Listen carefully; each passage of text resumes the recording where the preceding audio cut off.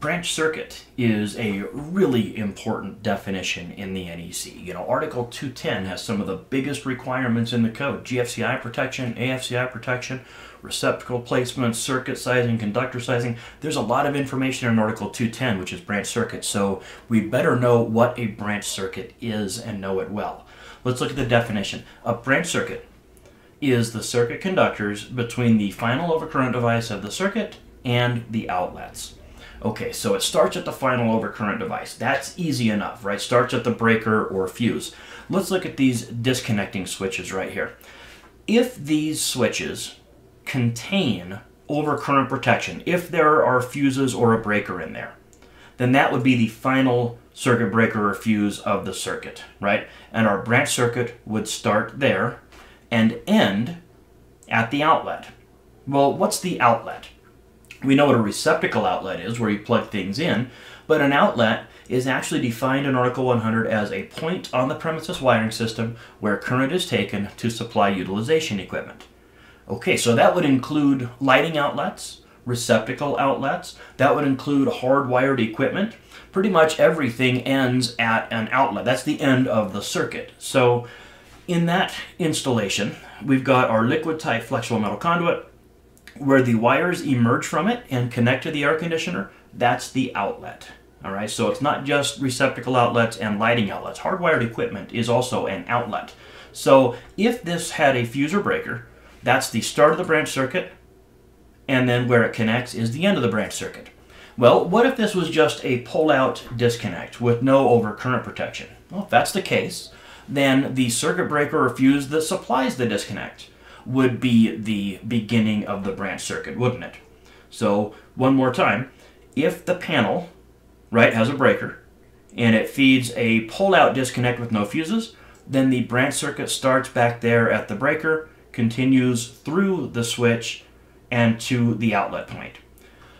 If we had overcurrent protection at the disconnecting means, then the branch circuit starts at the disconnect, ends at the outlet. What would the wires between the circuit breaker and the fuse disconnect be called? Well, those would be a feeder circuit, and we're going to cover those in a different video. So we know what a branch circuit is.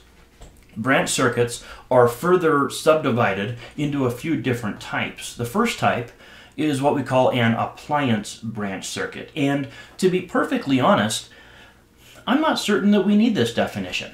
Uh, I can't think of anywhere that we really use this term in the code. We have small appliance branch circuits in 210.52, but we have enough specific rules for them that I don't know that we need a definition. So don't spend too much time trying to focus on this one. It's a branch circuit that supplies outlets for appliances, but does not serve any lighting outlets. All right, so this circuit feeds the disposal and potentially the dishwasher as well. So two appliances, that would be an appliance branch circuit, wouldn't it?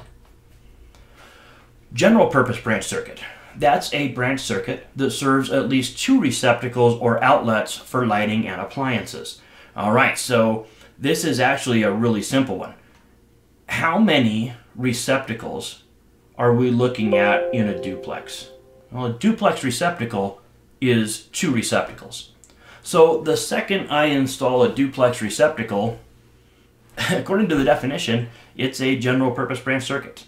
So I could be looking at one or two general purpose branch circuits in this picture. Now if I actually had cut the tabs on this and I had four different circuits serving those four receptacles, then those would not be a general purpose branch circuit unless there was something else on the circuit as well.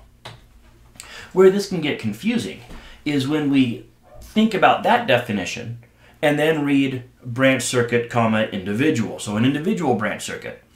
That's a branch circuit that supplies only one utilization equipment. Now, I think a great example is here in the laundry room. Certainly, the 230 volt, the, the 250 volt, 30 amp rated receptacle, that is supplied by an individual branch circuit. That serves the dryer and nothing else. No question, that's an individual branch circuit. What about this duplex here for the washer? If that is the only thing on that circuit, then that too is an individual branch circuit. The fact that it's a duplex doesn't matter because you see, it still serves only one utilization equipment. And there have been proposals to clarify that an individual branch circuit can only have a single receptacle. And those proposals have all been rejected. Codemaking Panel 2's position on this is that a duplex receptacle is still a single individual branch circuit if that's all that's on it, and if it's only supplying one piece of equipment. Uh, some people we'll call this a dedicated branch circuit. And look, if you want to call it a dedicated branch circuit, I'm not going to call the code police on you, but it, it's really not the best term because dedicated, like like Jedi's are dedicated, right? right? Or you know, people are, are dedicated to a certain cause. But a branch circuit's not dedicated to anything. You can have an individual branch circuit that supplies only one piece of equipment. Uh, there are some areas in the code. I think 760 0.121, really close to that, where it'll say something like, you must have a, a branch circuit that is dedicated to only fire alarm stuff.